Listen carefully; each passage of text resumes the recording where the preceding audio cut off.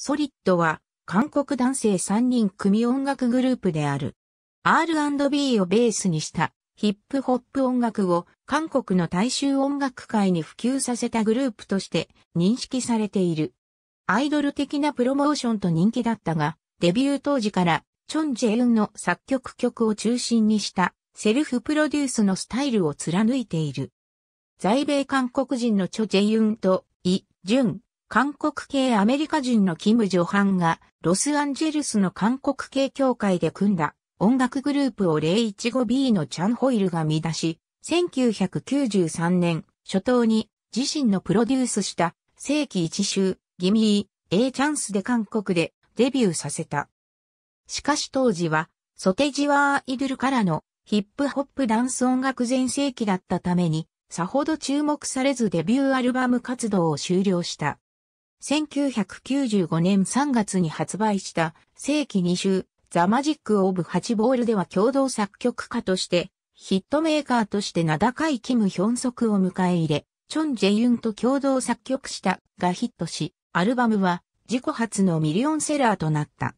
続くが収録された世紀3週、ライト、カメラ、アクションは彼らの最大のヒットアルバムとなった。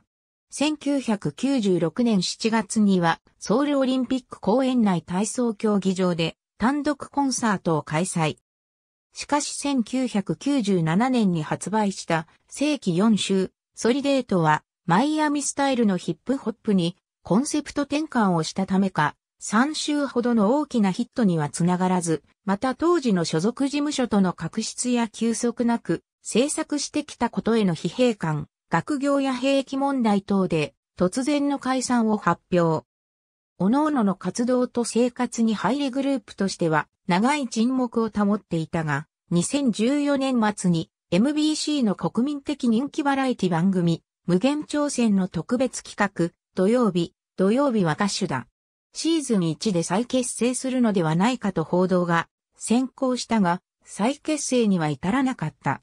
2018年3月22日に21年ぶりに世紀5週 Into the Light を発売。